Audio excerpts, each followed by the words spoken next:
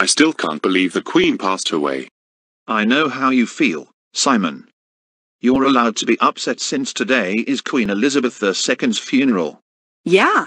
It's okay, Simon. We'll all cry with you. Yes, step bro. We are your family. We're here with you. Why? Why? Wah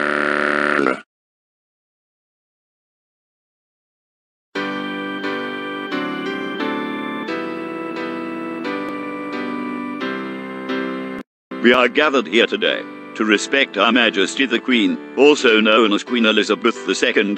She died because she had been under medical condition.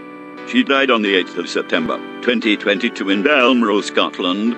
So, feel free to say your piece about her. Well, Queen Elizabeth II has always been here for all of us, especially us people in Britain. Yes, And there is. without our gracious Queen Queen, Elizabeth II, you have been the best queen we ever known, and I'm so sad about you passing away at the age of 96.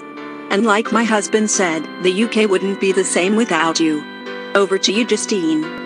Well, just like my stepdad and mum said, the UK wouldn't be the same without Her Majesty the Queen. Okay, Simon, have your say about the Queen. well.